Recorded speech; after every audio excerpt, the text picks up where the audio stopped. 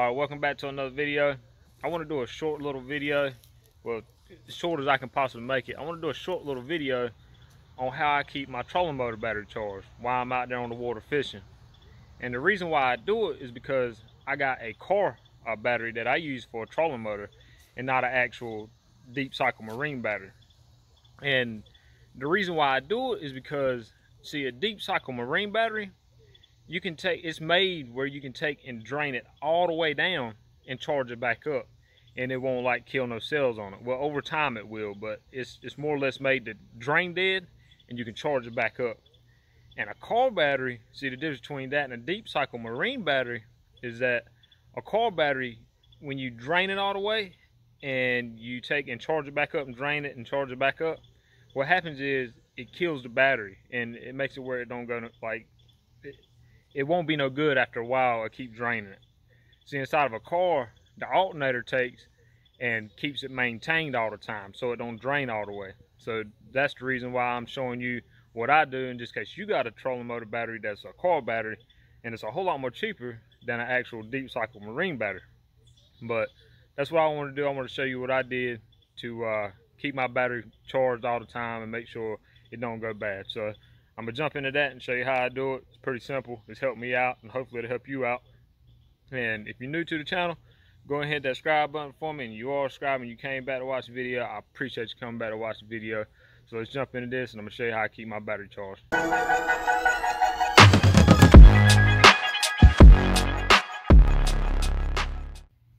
all right here's my little battery right here it's a value power it's a 26r and it's a 540 cold cranking amp automotive battery that goes in a car.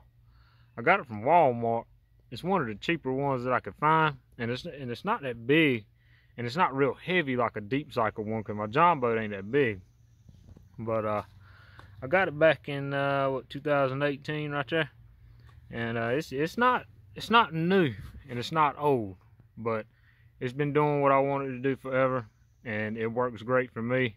And the only reason why i'm showing you this is so if somebody else wants to get a car battery and it don't go dead on them and well it, so it don't kill the battery really because a deep cycle like i said is it's made to drain all the way down and you can um, uh, charge it back up but a car battery is totally different. It's not made to drain down and uh, and charge all the way back up. And the way that i keep this thing charged is with this right here. There's the secret weapon it's a solar panel is what it is it's a 12 volt solar panel that thing right there I got that from Walmart too. It's one of them ones that goes on a deer feeder over there in the hunting section. They got, they got like these little alligator clips on them.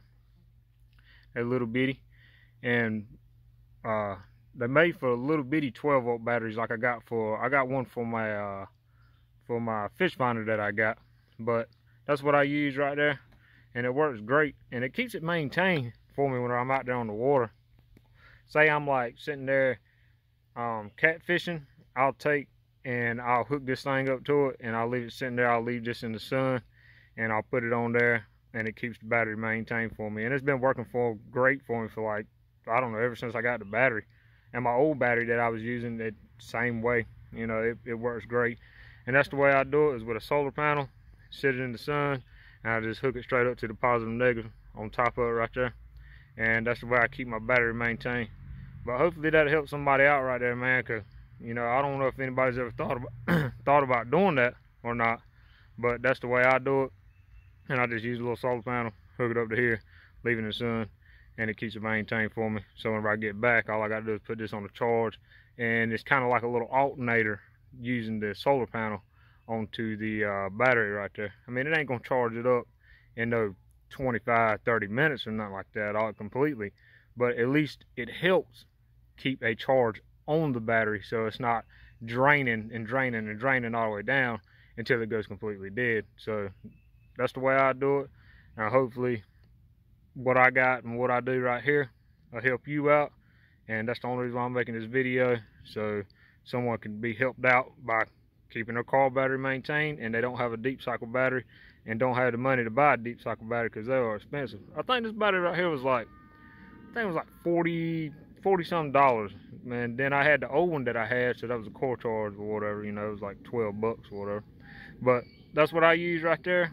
Use solar panel and I use a little car battery and it works great. And hopefully if you do the same idea, it'll work great for you. And that's what I wanted to show.